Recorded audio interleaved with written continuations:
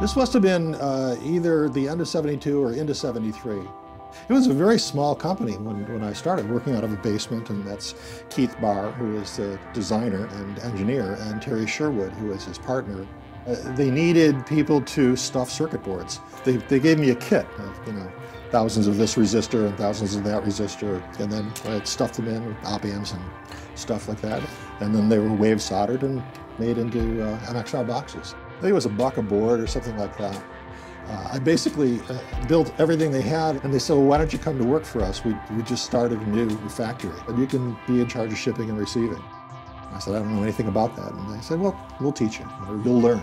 So I did that for about a year, and uh, they said, okay, maybe you can do international sales. And I said, okay, I'll do international sales for the company. And that's how it was. I mean, that's how it was at MXR. Can you do this? Uh, yeah, yeah, okay, I can do that. Within that next year, I was traveling all over the world. I was, you know, a 20, 22 year old kid on a gold American Express card for MXR selling these little boxes, and people loved them. The, the first ad we did uh, was this uh, ad, which Keith took the picture, and it's MXR Innovations We Are Here. And this was the back cover of Rolling Stone. And We Are Here is a statement to, to the world. He's a guy that changed the music industry, changed it forever. And this is us. You know, we're, we're coming at you. And uh, you ain't seen nothing yet. And that, that was the attitude that, that our company had. Not to say boastful, but bold. You know, young guys. Everybody in the company was young. It's like, we're doing things differently. You know, the box that we use, the Bud box, was one of the things that made the product so different. Uh, because up until this time, effects pedals had been uh, so fragile and so flimsily made. And yet Keith's design was utilitarian, sounded great, but also was bulletproof. It just wouldn't break. And that whole we are here attitude is uh, part of the product. Anyway, that was the first ad, and then they were kind of like, well, what do we do now? And so I basically piped up and said, let me try, you know, and I had no experience at all.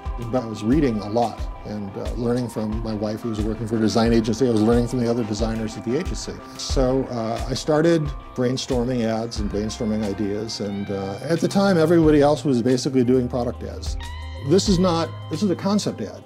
And, you know, with concepts, I thought, uh, it's more creative, it's more clever, it looks different. It reinforced all the other stuff we were doing at the company. In every level of production, in every level of design, in every level of sales, we wanted to do things that were, that were as innovative as we possibly could. And it translated over to all of a sudden, all of the major acts and were using MXR pedals. The design of the logo, uh, again, I, I, have to give a lot of credit to Jill, my uh, first wife. And she felt that this logo, the script logo, which is basically just Letraset, she thought it was very feminine.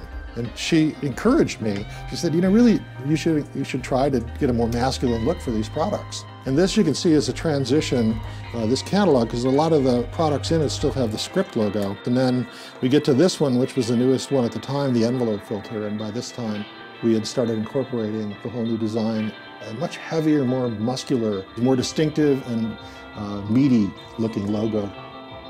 And then uh, from this, we basically developed all the design standards that we had in the company.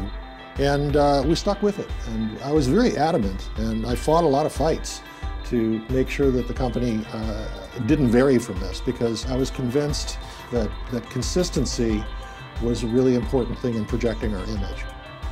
Keith and I uh, butted heads all the time on, on ads, near fist fights over, over design issues, over graphics issues, over everything.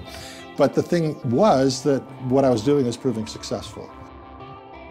I learned so much in being a part of this organization. I learned to write. I learned to be creative. I learned to trust my creative instinct. That's something that, again, filtered through the whole company.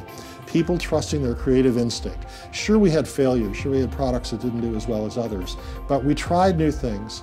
Basically, any kind of technology that was new and innovative that we thought would work with a guitar or with a keyboard or whatever, we used it. Learning to be creative and, and you know, that was something that uh, I don't think I would have really gained the confidence that I have now in the things that I do now if, if I hadn't had that experience at MXR.